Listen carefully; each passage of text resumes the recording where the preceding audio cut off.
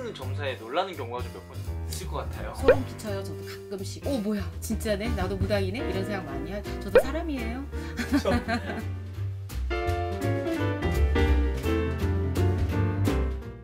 일반인 분들이라든지 시청자분들이 신점이란 거에 되게 신점, 0점 이런 거에 관심이 많더라고요. 네네. 근데 이 제가 알고 있기로는 신점, 0점 이게 생년월일 이런 걸 보지 않고 점을 본다는 건데 그게 맞는 건가요?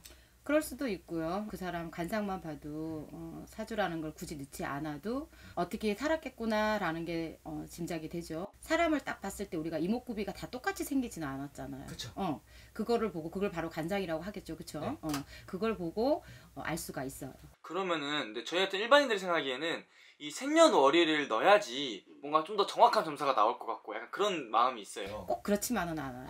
어. 본인이 직접 온다라고 하면 어, 크게 그거는 중요하지 않는 것 같아요. 손님이 딱 오면은 그 사람 봤을 때 딱 그 사람이 왜 왔는지가 먼저 떠오르시는 거예요? 저 같은 경우에는 신당 문을 열고 들어오면서 그 발자국 소리가 있어요. 신당 문을 딱 이게 열기 전에 그 걸어 들어오는 발자국 몇 걸으면서 느껴지는 거와 문을 열면서의 딱 비치는 그 관상에서 거진 다 안다고 보면 돼요. 몸이 아픈 사람이 오- 와요. 음. 그러면 선생님이 어떤 느낌을 좀 받으세요? 아 제가 지기를 받죠. 몸이 아프죠 제가. 지기를 받는다는 게? 아, 그러니까 예를 들어서 뭐 암 환자다. 네. 어, 좀 속상하겠지만, 음, 그러면은 저는 지금 암, 암 환자가 아니잖아요. 정상인인데도 어, 이렇게 위나 속이 아프다든가, 어, 막 그런 이제 증세들이 있어요. 그러면 선생님 신점, 이 0점 이 두 개는 다른 건가요?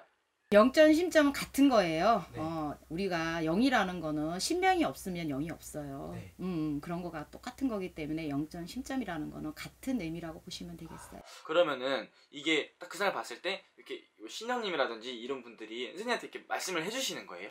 어, 말씀을 해주시면 굉장히 좋겠죠. 어, 어떤 분들은 신령님이 여기 기에 와가지고 막 얘기하듯이 그러니까 이렇게 내 입으로 뵙겠지라고 하는데 절대 그거는 아니고요. 네. 어, 말 그대로 느낌이 와요.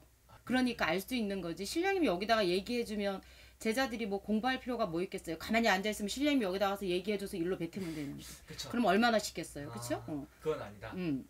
선생님 전화 상담으로 그렇게 살아있지 않은 그런 사람의 사주를 넣어서 장난을 치는 경우도 많다고 하는데 문득 궁금한 거는 진짜로 실제로 돌아가신 분의 사주를 넣으면 어떤 점사가 나오나요? 없습니다. 깜깜해요. 아 점사가 보이지 않습니다. 예를 들어서 지금 현재 구속이 돼 있는 상태 같으면은 네. 갇힌 형상이 보이는데 돌아가신 분은 까매요. 어, 그 장면이 어느 순간에도 계속 우기고 그 양반의 사주를 보다 보면은 그 서글픔이나 어, 한지고 뭐 이런 것들 어, 그런 것들이 나오게 되죠. 그러다 네. 보면 제가 좋은 말을 안 하죠. 어, 이제 음. 그러면 이 사람이 죽은 말 죽은 사람인 줄 아니까 이제 제가 화를 내죠. 음, 왜 장난치냐? 음, 음, 그쵸, 당연하죠. 뭐라고 하겠죠, 제가. 아 그런 경우가 좀 몇 번 있었나? 있었어요. 그래서 전화 상담 안 보는 거예요. 아, 남자친구가 죽었는데 너무너무 이제 그 꿈에 나타나고 이러니까 이제 화가 나서 살아있는 사람처럼 저한테 전화를 해서 물어본 사람이 있었어요. 선생님도 선생님 점사에 놀라는 경우가 좀 몇 번 있을 것 같아요. 소름 끼쳐요. 저도 가끔씩. 그래서 어 나도 무당이네 이런 생각 많이 하죠. 선생님도 무당인데 무당 나도 무당이네 네네 이런 깜짝 놀랄 때 많죠. 어 뭐야 진짜네 나도 무당이네 이런 생각 많이 하. 저도 사람이에요. 저... 아 그런 경우가 좀 몇 번 있었나? 있었어요. 그래서 전화 상담 안 보는 거예요.